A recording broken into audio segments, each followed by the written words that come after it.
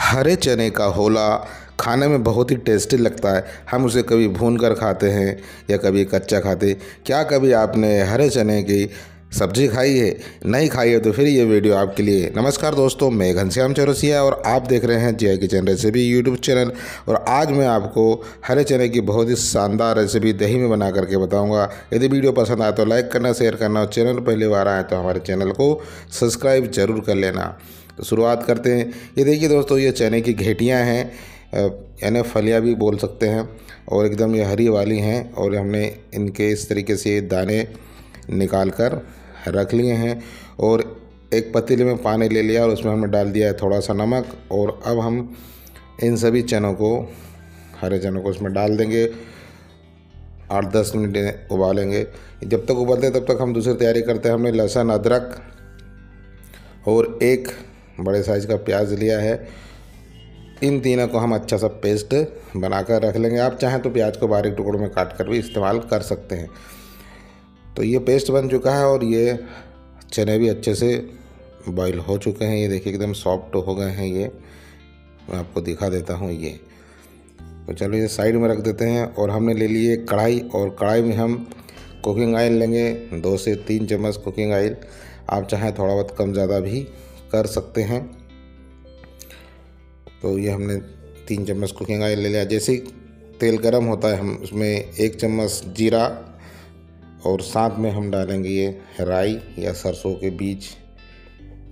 अब ये सभी अच्छे से चटक चुके हैं। अब इसमें हम डालेंगे अदरक, लहसुन का जो पेस्ट हमने बना के रखा था, अदरक, लहसुन और प्याज, उसको डाल देंगे। और दोस्तों, इसे हम अच्छे से भून लेंगे। और इसे हम तब तक भुनेंगे जब तक इसका कलर नहीं बदल जाता, ये पूरा पानी इसका निकल नहीं जाता तब तक उसे हमें भूनना है। तो चलिए, ये भूनता तब तक हम कुछ दूसरी तैयारी करते हैं। और ये हमने आधी कटोरी करीब हमने ले लिया है दही और इसे अच्छे से फेंट लिया है। और इसके बाद हम उसमें हम डाल रहे हैं लाल मिर्च। मैंने एक चम्मच में लाल मिर्च डाल दिए है। और ये आधी चम्मच करीब हल्दी पाउडर। और साथ में इसमें हम डालेंगे डेढ़ से दो चम्मच धनिया पाउडर भी हम इसमें डाल देंगे तो मैंने इसमें डेढ़ चम्मच धनिया का इस्तेमाल किया है और अब हम दही में इन्हें अच्छे से मिला लेंगे।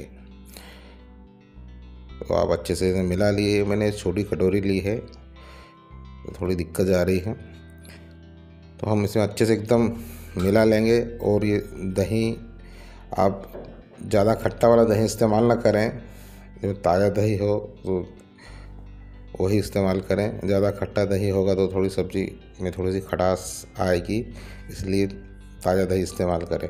अब इधर हम देखते हैं कि हमारे अदरक, लहसुन अच्छे से भुन चुके हैं और अब हम इसको डाल देंगे। ये जो हमने दही में मसाले डाले हैं, उसको हम इसमें डाल देंगे। और जब हम ये सभी मिश्रण हम डालेंगे, उस दौरान हमको फ्लेम को कर देना है। लो। फ्लेम को लो इसलिए करना है क्योंकि दही फट सकता है। वैसे दही तो फटेगा नहीं क्योंकि हमने दही में धनिया, मिर्च और हल्दी पहले मिला दिए। हमने इसीलिए इसमें पहले मिलाया था ताकि दही फटे नहीं। कई बार क्या होता है कि जब हम डायरेक्ट दही डालते तो फट जाता है तो सब्ज़ी बिगड़ जाती है, इसलिए मैंने पहले मिलाकर आपको बताया। तो अब अजित दही अच्छे से भुन चुका है। मसालों के साथ में। और अब हम उसमें ये छोटे टमाटर डाल देते हैं। ये ऑप्शनल हैं, आप डालना चाहें तो डालें, अन्यथा ना डालें। क्योंकि बहुत ज़्यादा पक्के थे, ज़्यादा खट्टे नहीं, इसलिए मैंने डाल दिए। और इसमें हमने डाल दिया है नमक थोड़ा सा। और ये हरी मिर्च में डाल रहा हूँ। तीन हरी मिर्च हैं। ऐसे लंबे काट लिया और बीच में से चिरा लगाकर इसमें मैंने डाल दिया है। और आप चाहें तो इन्हें स्किप भी कर सकते हैं, ये ऑप्शनल है, अनिवार्य नहीं है। और अब हम डाल रहे हैं कसूरी मेथी। तो दोस्तों, कसूरी मेथी डालना बहुत ज़रूरी है, इससे एकदम अच्छी खुशबू आती है और फ्लेवर भी अच्छा आता है सब्ज़ी का। और अब हम इसमें डालेंगे ये चने, उबले हुए हरे चने, हमने अभी उबाल लिया था। और दोस्तों, इसे आपको इस तरीके से अच्छे से भूनना है अभी।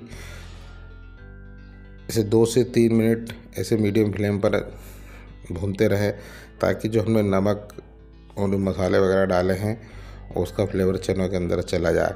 तो चलिए मैंने थोड़ा सा पानी डाल दिया है और इस तरीके से इसे मैं और पकाऊँगा।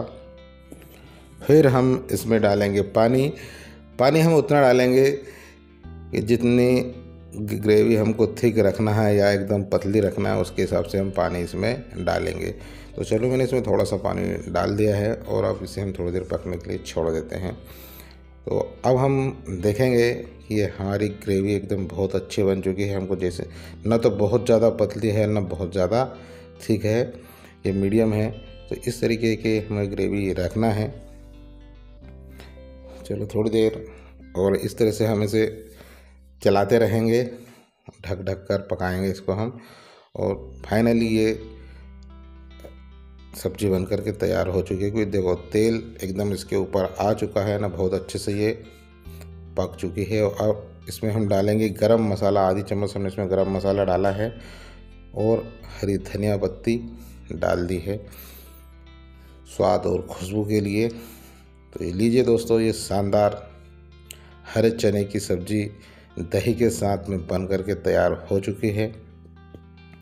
और इसे अब हम ढक देंगे और ठंडा होने के लिए छोड़ देंगे, कर देते हैं गैस को बंद। और अब देखिए हम इसे सर्व करते हैं आपके लिए। दोस्तों, यदि आपको ये हमारा वीडियो, ये रेसिपी पसंद आई हो तो प्लीज़ लाइक करना, शेयर करना। और यदि हमारे चैनल पर आप पहली बार आए हों तो प्लीज़ चैनल को सब्सक्राइब कर लीजिए बेल आइकन को प्रेस कर लीजिए और आल को ज़रूर सेलेक्ट कर लीजिए ताकि इस तरीके ऐसे वीडियो हम आपके तक पहुंचाते रहें और आप देखते